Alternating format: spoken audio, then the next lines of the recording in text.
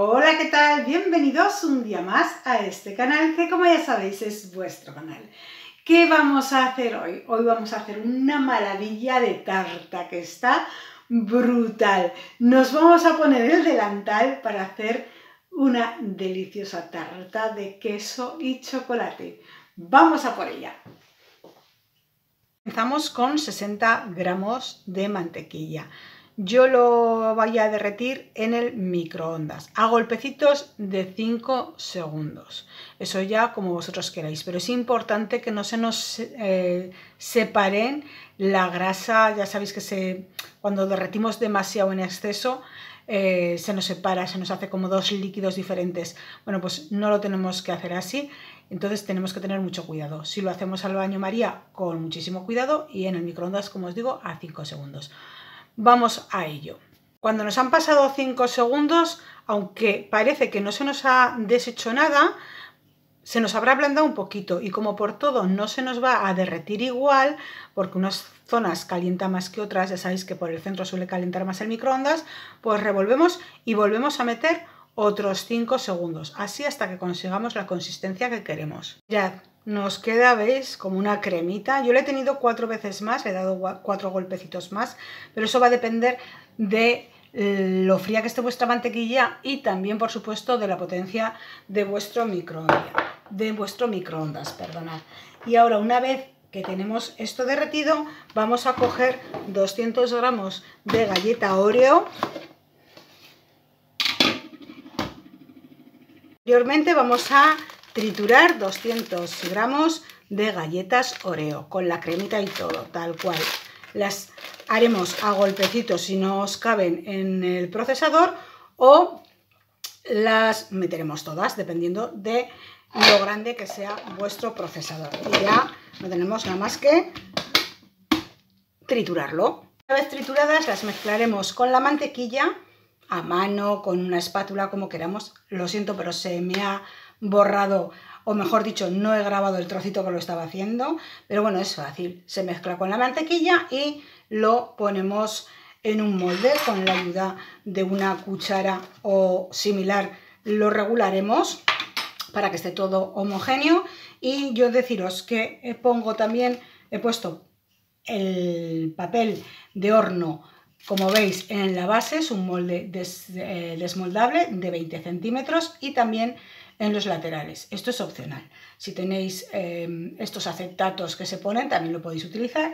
Y comentaros que yo he puesto un poquitico de mantequilla, nada, una pizquina en las uniones de los papeles, porque no me daba entero el papel, para que eh, no se me despeguen y cuando echemos la siguiente elaboración se quede entre medio.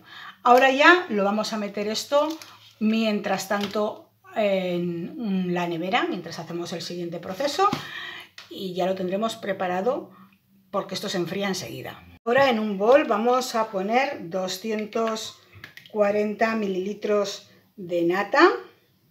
La nata tiene que ser de montar, no nos vale la de cocina, ¿vale? Si tiene 35% de grasa, mucho mejor, porque si tiene poquita grasa no nos va a quedar bien. Si tiene más, pues también estupendo, pero un mínimo de 35. Y esto lo vamos a semi-montar. Quiere decir que no lo vamos a montar del todo, que mm, tengamos una especie de, de cremita, digamos. Cuando ya la tengamos así, que no está montada, montada del todo, pero ya se nos empieza a montar, digamos, la vamos a reservar. Y mientras tanto, vamos a coger otro bol antes de seguir con este bol, vamos a coger este otro que tengo chocolate, que es chocolate negro. Tengo 250 gramos de chocolate y lo tenemos que derretir. Igual que con la mantequilla lo podemos hacer tanto al baño María como en microondas. En microondas yo lo hago a golpecitos de 15 segundos y el mismo proceso que hemos dicho con la mantequilla. Cuando demos los 15 segundos, aunque parezca que no se ha derretido, revolveremos porque mirad, no sé si se llega a apreciar aquí, veis que está más clarito, eso es que se calienta. Pues venga, otros 15 segundos, revolvemos y así hasta que lo derritamos. Es muy importante revolverlo porque si no el calor no se os va a distribuir por todo igual y se os acabará quemando el chocolate. Así que, venga, seguimos. Cuando ya lo tengáis así, que todavía os queden trocitos, pero dándole vueltas no se os terminan de derretir, yo esperaría un ratito, ¿vale? Porque con el calor muchas veces se terminan de derretir. Entonces, si no se terminan de derretir, meterlo ya en golpecitos mucho más cortitos, de 5 o 10 segundos. También va a depender un poquito el tiempo de vuestro microondas. Como veis, yo sigo revolviendo y me van desapareciendo, con lo cual yo ya no lo voy a meter más. Ahora vamos al bol que teníamos aquí anteriormente, donde tengo queso crema, tipo Filadelfia para que me entendáis. Son 450 gramos y le vamos a añadir azúcar glass, 83 gramos de azúcar glass que vamos a tamizar. A esto le vamos a añadir una cucharada de vainilla, unos 10 mililitros de extracto de vainilla. Y esto lo vamos a batir también, pero antes de batir lo vamos a mezclar un poquito, como podamos, bien con la espátula o con las mismas varillas, para que no nos salte todo el azúcar, porque esto nos pone todo blanco, blanco, blanca la cocina. Y una vez que ya lo hemos mezclado un poquito, batimos. Ahora agregaremos ese chocolate que hemos derretido y batiremos de nuevo y mezclado todo, iremos añadiendo poco a poco la crema que teníamos semi montada y la mezclaremos con el queso crema y, la, y el chocolate que habíamos derretido. Poquito a poquito iremos mezclando todo. Y en teoría se hace todo a mano, pero yo le meto las varillas y después ya sí que le doy unas vueltitas para quitarle ese aire, le doy con la espátula. Ahora lo pasaremos a nuestro molde y lo alisaremos un poquito para que esté más o menos regular. Lo alisaremos un poquito y le daremos unos golpecitos para que se nos vaya igualando. Una vez que lo igualemos, lo vamos a meter una horita al congelador. Vamos a calentar 120 mililitros de nata. Un poquitico, sin que nos llegue a hervir, ¿de acuerdo? Solo que nos coja un poquito de calor, porque lo vamos a utilizar para derretir también nuestro chocolate. Y aquí tengo 140 gramos de chocolate con leche vamos a echar nuestra nata calentita con el chocolate y revolveremos hasta que se nos funda. Si por lo que sea vemos que no se nos llega a terminar de derretir porque se nos ha enfriado la nata, pues le daremos otro golpecito de calor en el microondas. Pero nada, muy breve para que no se nos queme ese chocolate. Sacaremos la tarta que teníamos en el congelador y echaremos ese chocolate con nata que hemos derretido. Dejaremos que se nos extienda por todo igual. A ver, vamos a intentar aprovechar todo. Romperemos esas burbujitas que nos queden.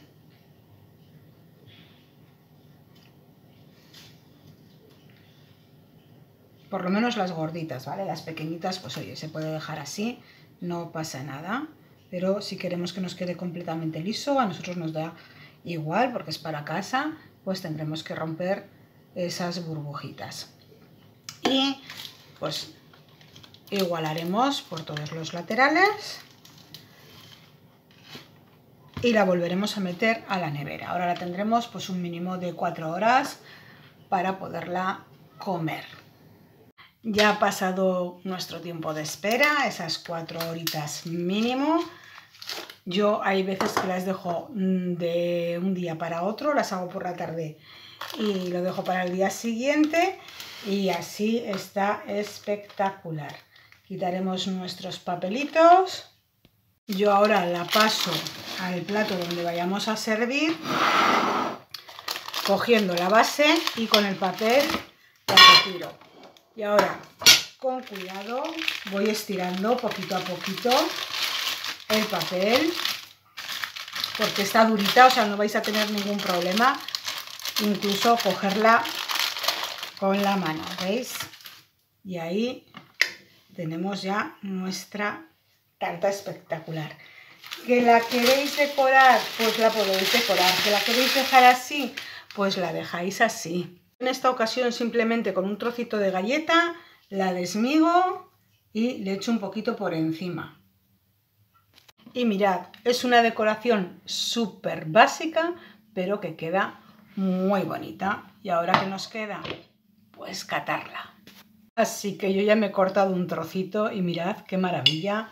No sé si se aprecia, qué pasada. Y esto está mortal.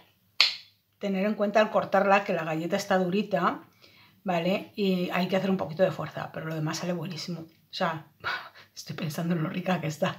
sale muy fácil, quería deciros. Mmm. Es una maravilla. Qué rica. Ya habéis visto qué cosa más sencilla y además no nos hace falta horno. Está exquisita. Es una pasada. No dejéis de hacerla y ya me contaréis qué tal os ha parecido. Espero que os haya gustado la receta y por supuesto veros en el próximo vídeo. Un besito, nos vemos. Chao.